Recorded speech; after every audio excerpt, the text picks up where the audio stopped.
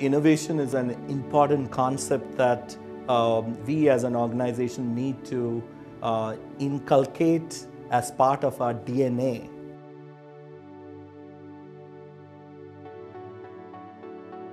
I'm the country director with FHI 360 in India. The 360 perspective gives the opportunity to uh, work with communities and to meet the diverse needs of communities and beneficiaries.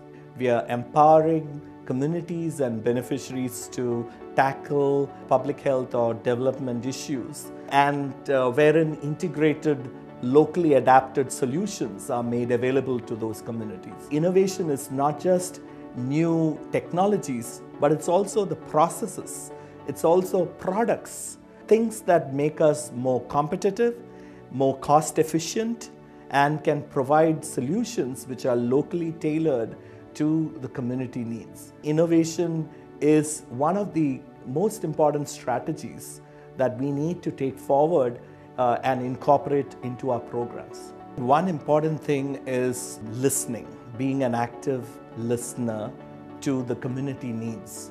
So if you have a community that tells you that you need to meet the diverse human development needs beyond just the biomedical approach in public health, then uh, that, that helps us to take these critical decisions of broadening our interventions to look at human development approaches also.